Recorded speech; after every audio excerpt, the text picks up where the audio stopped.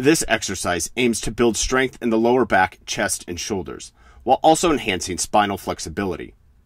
Kneel with a weight directly overhead. Ensure your glutes and core are engaged to create a straight line from your knees through your hips up into your shoulders.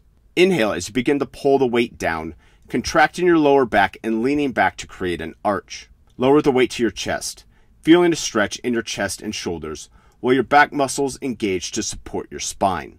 Exhale as you press the weight overhead back up to the starting position, straightening your spine. Your chest and shoulders should actively contract to lift the weight. Keep your glutes, back, and core engaged throughout the entire exercise to maintain stability and support. Start with a very light weight and increase the weight as you become more comfortable with the movement. Maintain controlled breathing throughout the exercise, inhaling and exhaling through your nose.